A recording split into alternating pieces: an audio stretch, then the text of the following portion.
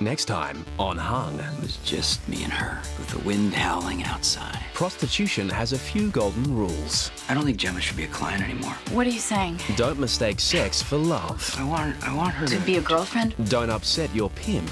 If you have all the answers, then you book the clients. I can do that. And make sure you get paid up front. I help you out. Well, uh, compensate me. Hi. Series continues next, only on Showcase.